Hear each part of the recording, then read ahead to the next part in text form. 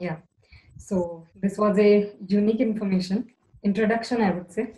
Hmm. So now let's move ahead. How to see uh, if the effects of Sadesati will be mild or a bit harsh, or we can say bad. So what points we have to consider to look for in a chart? Yeah. So there are very clear cut answers to these questions, luckily. okay. Oh, okay. And these are not answers like, okay, your Saturn is exalted, you'll have a good Sadesati. Your moon is exalted, you'll have a good Sadesati. Your moon is in exaltation, but it is in Dusthan, your Sadesati will be good and bad. Oh my God, so many rules. And at the end, nothing works. so the first rule, the first rule, this was, it is, and it will be. Just check the dasha. What the dasha is telling, that see what happens in your life is not because of the transit. What happens is because of the dasha. So for example uh, like we know india had prime minister indira gandhi once upon a time. When sade sati was there she became prime minister they say. Yes? Now narendra modi his uh, horoscope is a bit uh, under debate but most of the astrologers agree that his uh, ascendant is not known exactly it's libra or scorpio but his moon is in scorpio with mars. Everybody knows that. Yeah. so then when did he become prime minister? Sati, right? Because five years Mhm. back then th- th- he won the election five years back. And even even now Sati is going on yes for him even now it's going Right. on and people people ask me that to, even today there was somebody was asking me can you predict that you know narendra modi will win or not so these are some of the examples where we can see that Sadesati's uh, Sadesati's effect is not necessarily bad. It can be good, it can be great also. Mm. But why it is great? Why it is bad? Because the dasha is indicating that. All right, so that's the first point. If the dasha is difficult, then Sadesati will be difficult. So suppose you are running Venus Mahadasha and Venus Mahadasha is very long, so the Antar Antardashas are also very big, you know. So suppose when Sadesati started, your dasha was uh, Venus Jupiter, for example. So then Venus Jupiter will be two and a half, three years. Yes. Then Venus Saturn will come.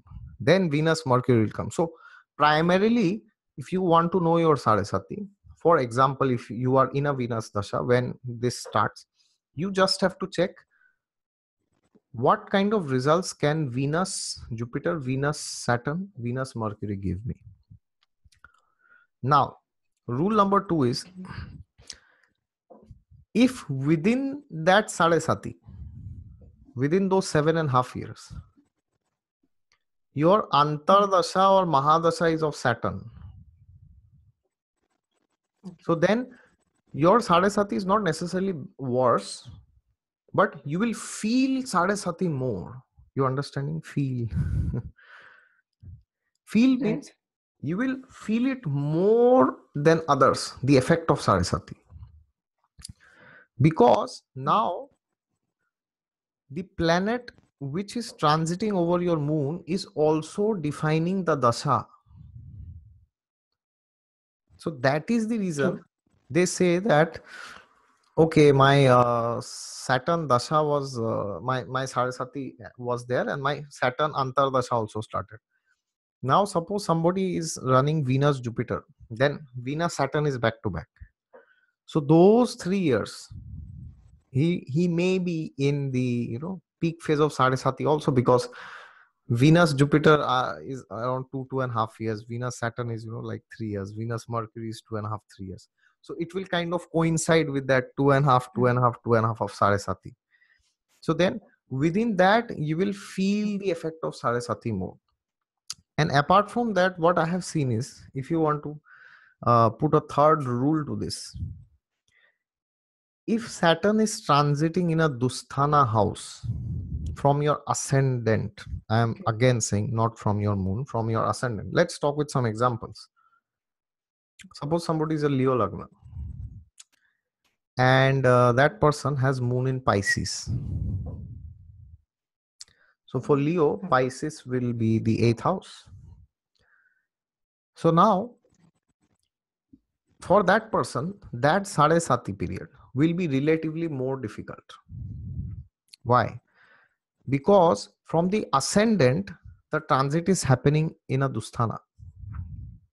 Dusthana, in the sense, like they are famous as the cruel, bad, difficult, malefic, worst house, worst houses, right? So I'm just speaking in the tone of the public. I'm not saying that uh, you will die or something. No, if Saturn transits in the eighth, but people take the eighth house to be a very dreaded house, and which it is. Of course, there are spiritual indications in the chart. But now let's take an example. Suppose your dasha is relatively good, or average, or positive, I would say. But from the ascendant, your Saturn is transiting in a good house. So take the example of Leo ascendant only. Why I'm taking Leo? Because now Saturn is in the fifth house, right? For Leo Sagittarius is the fifth house. So now if the dasha is indicating something related to the fifth house, suppose they are running the Antar dasha or Mahadasha of Jupiter because Jupiter is the fifth lord, then their Sade Sati will be more intense. Intense means not good or bad, you will feel it more. True. Okay, it's not necessarily bad. But suppose uh, your your dasha is indicating that there are some things related to the tenth house, for example. Suppose uh, for Leo ascendant, Venus Mahadasha is running. Venus is the tenth lord, and suppose Venus is in a great house like the Lagna or the eleventh or the 9th or the fifth. So in that case, you will get rise in career, irrespective of Sadesati. And now what will happen? Because the fifth house is the eighth from the tenth house. Mm. That is why it deals with promotions. And surprisingly, many people don't know it also deals with loss of job. All right. Yeah. Because it shows the death and revival. So, death revival means either you lose it or you get a new one. True. So now suppose your Venus is badly placed or some some problem is there for a Leo ascendant. I'm just talking with examples because it doesn't make sense to you know talk big things in the air. This will happen, that will happen. So now suppose Venus is badly placed in somebody's chart for a Leo ascendant and the Venus Mahadasha is running. And then you take the Antardasha. Let's take a case. Jupiter Antardasha is running. Suppose now Jupiter is again the fifth lord. And suppose Jupiter is also uh, quote unquote badly placed somewhere. Okay. Then that Sade Sati or that transit of Saturn, suppose that person has moon in Sagittarius, you know, in Mula or Purva Shada or Uttara Shada, then Sade Sati is going on. So in that case, for that person, it could happen that instead of the good things related to job, like promotions, it could happen that the person is losing the job. That could happen. Or as I said earlier, if Venus and Jupiter, they are both well placed, they are greatly placed, then you will see as soon as Sade Sati has started, you are getting more promotions. And that is why I gave these examples that they became prime ministers. Now, at the same time, when for Leo ascendant, suppose somebody has moon in Pisces, and then Saturn will, after some years, go into Pisces that time. So now it is in a Dusthana from the Lagna. So now you have to very carefully analyze if the dasha planets of those seven and a half years in any any time in these seven and a half years they are indicating the eighth house to some extent so during that specific time you will have some problems but you cannot say that entire three years will be miserable that that's hyper approximation so you have to study the Sadesati in context of the dashas. That is what I'm saying again and again. This is what people miss. Sadesati, what it can do at max, it can bring things to a halt. Now, people say that uh, they change jobs during Sadesati. This, have you heard this? Changing jobs. But the question is, uh, why do Yes, they yes, change jobs? nobody ever asked this question. Why why do somebody change why did they change their jobs? Everybody is just going on blaming you know sati sade sati ne ye kar diya wo kar diya. See why did you change your job? Maybe you were fired.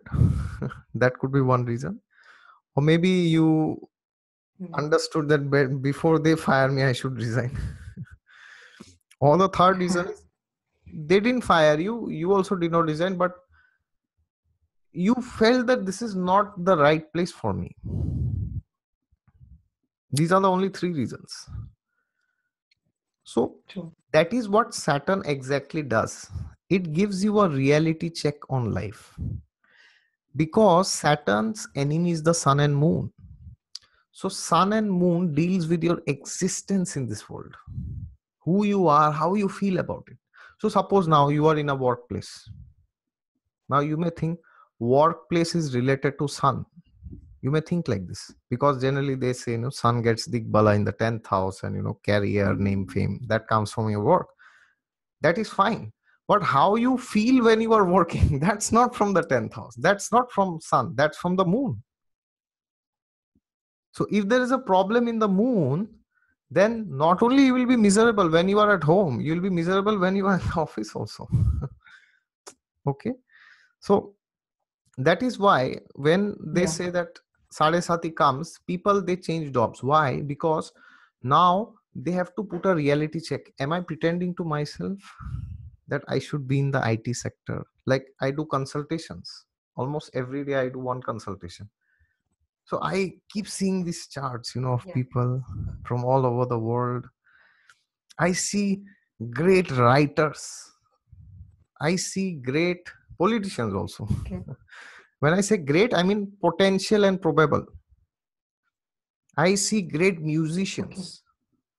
Sun in trines of the Navamsha Lagna. Great, great musicians. Great singers. But their only hmm. question to me is when will I get a promotion in the IT sector? That is their unfortunate question. and if you talk to them they will say what to do sir you know it is giving us money you know we can we can't just play violins and you know get money it's not possible you know we can't just keep singing and get money that's not possible sir.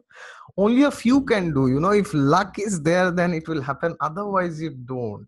You can't do it. Then they will give statements like this. Passion is separate. Profession is separate. You know you should never mix passion and profession. If you mix it becomes a khichdi. So then you can neither you can neither follow your passion neither you can follow your profession. You're you're miserable basically. These these are the excuses which people give when when they have a passion but they do not have that sufficient determination and willpower to make sacrifices in their life to transform it into a profession. Because just by having traits of singing or dancing you cannot make a living out of it. Okay? Because if you want to make a living out of it then you have to have discipline in your life. You have to do it every day. Yes you must do it every day. Suppose you have some uh, talent which you want to present in youtube. You must make a video every day or you know once in 3 days or something. Now that they cannot do because they are lacking that saturn you see. Very good then they will come up with these justifications. Very actually you know by singing you can't get money. Why? There are so many people who have made millions and billions. You may not make billions. You can make thousands at least. Yes right so when Sadesati comes what happens people are forced to make some decisions which they could have made once upon a time long back but they behaved like an ostrich. Okay. Ah, just a second. But they behaved like an ostrich. Ostrich means. Have you seen an ostrich? What an ostrich does? So when there is a, I have seen it, but yeah, yeah. So what an ostrich does is a very interesting animal. It's a very big lesson actually for spirituality. One of my gurus once said, if you okay. understand what the ostrich does, you will dedicate your whole life towards god and spirituality just this ostrich nothing else you need you don't even need to read the holy books also just this ostrich if you know the game is over what the ostrich does is when it sees or when it feels there is a danger you know. So then what it will do is it will make a hole in the ground and it will put the that head there in the ground. And then it Yeah. pretends to itself no no no no it will not happen. Have you seen people taking solace sometimes? Have you seen people नहीं नहीं, ऐसा तो नहीं होगा हमारे साथ। This will not happen in our life इतने बुरे दिन हमारे कभी नहीं आएँगे। We will never see those bad days you know so this is a typical ostrich behaviour so now what's happening is when साढ़े सात is starting the tiger is near to the ostrich and the tiger is like hello I you still inside you know your head is still down so if if 5 years back you had a choice suppose some uh, typical indian guy i'm saying for example suppose he did he has some good marks and you know he went into science and technology but he never wanted for example he wanted to become a singer for example Mm. but he was not ready to pay that price where every day you are humiliated maybe by your parents or by your relatives or by your friends that you cannot be a singer you must be an IT engineer so what he did was okay you know I will ignore this inner voice which is inside me. बाद में कभी करेंगे हाँ once I marry when I have three kids you know when I have a when I have uh, my parents are well settled जब सब ठीक हो जाएगा then I will start singing so if you are not able to do it when you are alone Mm. what makes you think that you will be able to do it when you have a family? It is impossible. You simply can't do it. So when sade sati comes you must answer to that. So now what happens? Suppose somebody is doing something which they don't want to do in their career or anything like that. Now that inner voice starts no? red light. You are the wrong place wrong place wrong place wrong place wrong place. True. वो इतना ज्यादा हो जाता है it goes to such a big extent that the person feels it is better that I leave this job and stay in my home and do something of my own even if I don't have money because that inner tormentation is so big you know that they are like oh my god I can't handle it now I will not have money. Okay, do hell with money. I don't want money. Because now they will be forced to make those decisions which they could have made 10 years back. And that is why they say Saturn is the Karaka for fear. Why did you uh, choose a different profession or a career field? Why? You you had fear, right? डर क्या होगा ये होगा ये नहीं हुआ वो नहीं हुआ so now Saturn is like, enough of it. Now you must do it. So they do not change carriers actually. They just listen to their inner voice. It is that simple. So that that that's what uh, Sade Sati does. So that is why, according to me, Sade Sati can be externally difficult, but internally it is for your good and now there are some people who will give some you know very big lofty lectures on Sade Sati. You know, Sade Sati is great, blah blah blah, this that. well, externally it could be difficult. I'm not saying it will it will be very easy, but Mm. you have to understand what exactly happens in Sade Sati. If you know this, that you just see your inner self. It's Mm. like a mirror, you see. So when you see yourself in the mirror, you will go back 10 years back. Mm. Oh, that thing I wish I did 10 years back. My life would be somewhere else today. Maybe whoever is viewing this video, you know, they can write in the comments if there was a time when they thought maybe now is the time I should go that side. But I still I still started walking on the other side because I thought maybe the way this side is better. So if somebody somebody who is watching this feels like they can write in the comments if they felt like this. So now when sadesati comes enough of it. You must answer that call. And especially if it is related to the 10th house and 5th house because 5th house is your passion and what you like in life like to do in life in general. Like for example for a leo ascendant i was giving this example so for them these things could come. And now you take example suppose somebody's ninth house dasha is running. And their hmm. guru is telling them from last three years my dear sir enough is enough. Please come to the ashram sometimes. With your family with your husband with your wife please come sir. We are having this program. Please come. And you are like no no no no. I have to go to goa. I have to go to paris. I have to go to berlin and then your sadesati starts. And then Oh. something happens in your life. You are like oh my god where is god? So that's the if somebody wants to understand sadesati in essence it's just waking up to your inner call. It, it's very simple. There's no complications. And till the time you do not do that you will be the most miserable person to live तेरा से ज़्यादा बुरा हाल किसी का नहीं होगा दुनिया में because saturn will make your inner that voice so strong you will decide enough is enough you have to set your fears aside during sarasati otherwise nothing can be achieved during sarasati so that that's what my view is you know about your second question what exactly happens during sadesati do you have any doubts or any questions you want to ask Yeah. So tell us about what each phase of Sadesati signify, like rising, peak, and setting phase. yeah yeah that uh, that was another thing you know it's like the rising setting and peak